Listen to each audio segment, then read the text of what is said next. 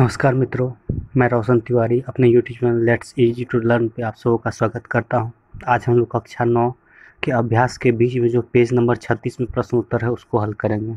तो आप लोग ध्यान दीजिएगा, अभ्यास कक्षा नौ के अभ्यास तीन का परमाणु एवं अणु पेज नंबर छत्तीस का क्वेश्चन आंसर प्रश्न एक है, एक अभिक्रिया में पाँच दशमलव तीन ग्राम सोडियम कार्बोनेट एवं छः ग्राम एथेनोइक अम्ल अभिकृत होते हैं। दो दशमलव दो ग्राम कार्बन डाइऑक्साइड, आठ दशमलव दो ग्राम सोडियम एथोनॉड नोइड एवं ज़ीरो दशमलव नौ जल के उत्पाद के रूप में प्राप्त होते हैं। इस अभिक्रिया द्वारा दिखाइए कि यह परीक्षण द्रव्यमान संरक्षण के नियम के अनुरूप है। जैसा कि यहाँ पर दिया हुआ है, सोडियम कार्बोनेट प्लस एथेनोइक अम्ल के नोइक अम्ल के साथ अभिक्रिया करने पर sodium, ethanoate ethanoate plus carbon dioxide और जल। होता है, ठीक है? देखिए, द्रव्यमान संरक्षण के नियम के अनुसार किसी अभिक्रिया के दौरान उत्पादों का कुल द्रव्यमान सदैव अभिकारकों के कुल द्रव्यमान के बराबर होता है। रासायनिक क्रिया के दौरान द्रव्यमान का क्षरण अथवा उत्पाद नहीं होता। सोडियम कार्बोनेट एथोनोइक अम्ल के साथ जब अभिक्रिया करता है तो sodium ethanoate plus carbon dioxide और जल बनता है। प्रस्तुत अभिक्रिया में अभिकारक का कुल द्रव्यमान सोडियम का पाँच दशमलव तीन है और उसके बाद एथोनोइक अम्ल का छः दशमलव तीन है और उसको जोड़ने के बाद ग्यारह दशमलव छः है, उसके बाद ग्यारह दशमलव तीन होता है। तथा कुल उत्पादों का द्रव्यमान ग्यारह दशमलव तीन था यहाँ अविकारकों का कुल द्रव्यमान और उत्पादकों का कुल द्रव्यमान बराबर है। यह परीक्षण द्रव्यमान संरक्षण के नियम के अनुरूप है, ठीक है? अब द्रव्यमान संरक्षण का नियम क्या कहता है तो उसको आगे देख लेंगे। देखिए, द्रव्यमान का न तो उत्पत्ति होता है और न द्रव्यमान को जो है, द्रव्यमान का नाश होता है, ठीक है? चलिए आगे देखिए प्रश्न दो। हाइड्रोजन एवं ऑक्सीजन द्रव, ऑक्सीजन के अनुसार एक अनुपात आठ के अनु, अनुपात में संयोजन करके जल निर्मित करते हैं। तीन ग्राम हाइड्रोजन गैस के साथ पूर्ण रूप से संयोग करके करने के लिए कितने ऑक्सीजन की आवश्यकता होगी? तो देखिए अनुपात एक आठ है तो एक एक हाइड्रोजन है तो आठ ऑक्सीजन है तो यहाँ पर तीन हाइड्रोजन है तो ऑक्सीजन कितना होगा? तो आठ से चौबीस चौबीस ग्राम हाइड्रोजन हो जाएगा, ठीक है? आगे देखिएगा। आगे है, डाल्टन के परमाणु सिद्धांत का कौन सा अभिगृहित द्रव्यमान के संरक्षण का नियम का परिणाम है? डाल्टन के परमाणु सिद्धांत का निम्नलिखित अभिगृहित द्रव्यमान के द्रव्यमान के संरक्षण के नियम के, का परिणाम है।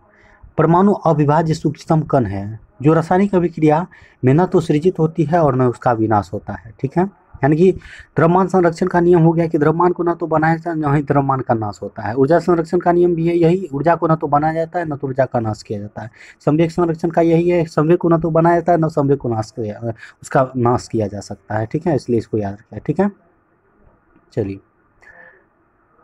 समझ आ गया? उसके बाद देखिए। डाल्टन के परमाणु सिद्धांत का कौन सा अभिगृहित निश्चित अनुपात के नियम की व्याख्या करता है? तो डाल्टन के परमाणु सिद्धांत का निम्नलिखित अभिग्रहित निश्चित अनुपात के नियम की व्याख्या करता है। किसी भी यौगिक के परमाणुओं की सापेक्ष संख्या एक एवं प्रकार निश्चित होती है। किसी भी अणु के परमाणुओं के सापेक्ष संख्या और एवं प्रकार क्या होती है? निश्चित होती है। ठीक है? पेज नंबर 36 के बाद पेज नंबर 40 का प्रश्न देखें। पेज नंबर 40 में पहला प्रश्न है, परमाणु द्रव्यमान इकाई को परिभाषित कीजिए। परमाणु द्रव्यमान इकाई, कार्बन बारह समस्थानिक के एक परमाणु द्रव्यमान है। द्रव्यमान के एक बटे बारहवें भाग को मानक परमाणु द्रव्यमान इकाई कहते हैं। कार्बन बारह के समस्थानिक के एक परमाणु द्रव्यमान के एक बटे बारहवें भाग को जो है मानक परमाणु द्रव्यमान इकाई कहते हैं।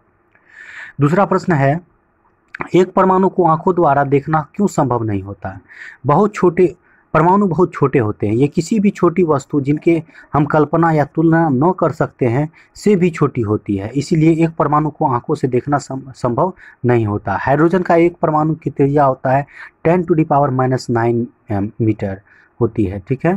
चलिए। पेज नंबर चालीस के बाद पेज नंबर चौवालीस का क्वेश्चन देखेंगे। निम्न के सूत्र लिखिए। जैसे देखिए, सोडियम ऑक्साइड का N N A two O हो जाएगा। एल्यूमिनियम क्लोराइड का A L C L three हो जाएगा। सोडियम सल्फाइड का एन ए टू एस हो जाएगा और मैग्नीशियम हाइड्रोक्साइड का M G O H two हो जाएगा। याद रखिएगा, ठीक है?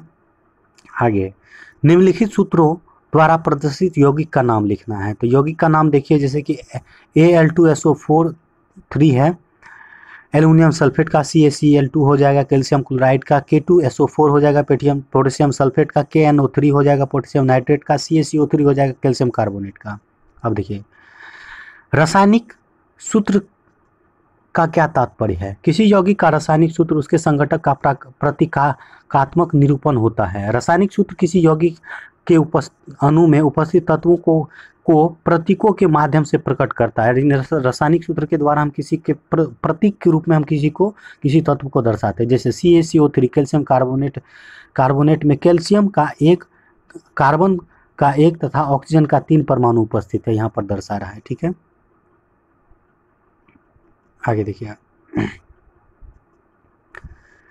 निम्न में कितने परमाणु विद्वान है? परमाणु की संख्या कह रहा है। एच टू एस में अणु एवं P O four three minus ion H two S O S अणु में तीन परमाणु, यानी दो हाइड्रोजन और एक सल्फ़र का है। दो हाइड्रोजन और एक सल्फ़र का विद्वान है। पी ओ फोर थ्री में आयन में पाँच परमाणु हैं। एक फास्फोरस का और चार ऑक्सीजन का विद्वान है। ठीक है? इसके बाद पेज नंबर छियालीस का देखेंगे। पेज नंबर छियालीस में पहला क्वेश्चन है, निम्न यौगिक के आणविक द्रव्यमान का परिकलन कीजिए। जैसे H2 का है तो दो गुना एक हो जाएगा। उसके बाद ऑक्सीजन का O2 का हो जाएगा, दो गुने सोलह, बत्तीस यू हो जाएगा, आणविक द्रव्यमान बत्तीस हो जाएगा।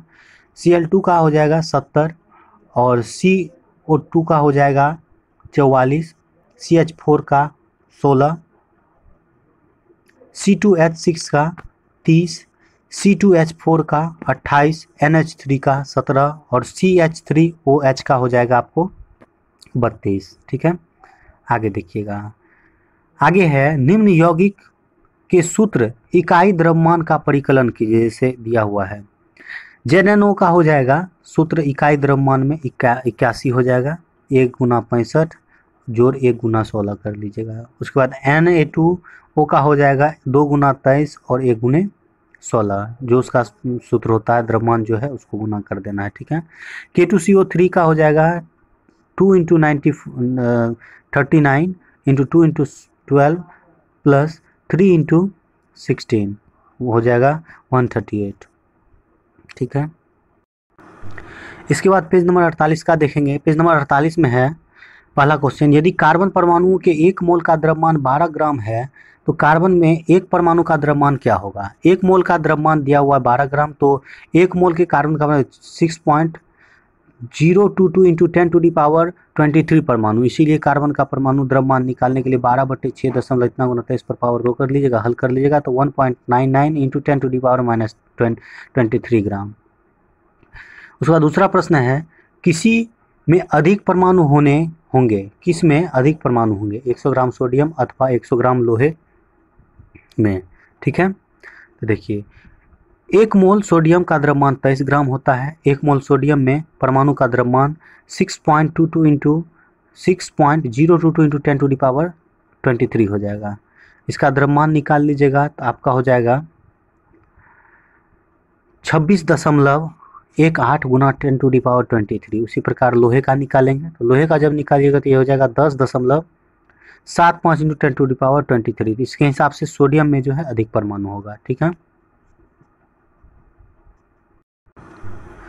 तो हमारा आज का ये वीडियो यहीं समाप्त होता है। आप हमारे यूट्यूब चैनल पर बने रहें, वीडियो को अंत तक देखें और चैनल को अभी तक यदि सब्सक्राइब नहीं किए तो सब्सक्राइब कीजिए, साथ ही बेल आइकन को भी दबा दीजिए, ताकि आपको हमारे वीडियो का नोटिफिकेशन सबसे पहले मिल जाए। आज के लिए इतना ही, फिर एक नए वीडियो के साथ मिलते हैं। जय हिंद, जय भारत।